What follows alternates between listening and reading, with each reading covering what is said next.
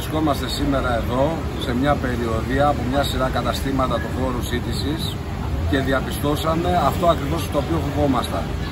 Ότι οι θολές οδηγίες και παύλα υπουργικές δίθεν αποφάσεις περί προστασίας δίθεν των εργαζομένων μόνο αποφάσεις για τους εργαζόμενους δεν ήταν.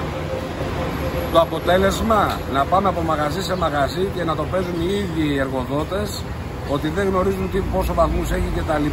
Είναι ξεκάθαρα άθλιες οι συνθήκες. Είναι χαρακτηριστικό παράδειγμα το μαγαζί το οποίο βρισκόμαστε αυτή τη στιγμή, όπου οι διανομής δεν έχουν καν σκιά για να σταθούν την ώρα που περιμένουν παραγγελίες, παρόλα αυτά να κάθονται να βγουν και να κάνουν κανονικά διανομές ε, κτλ.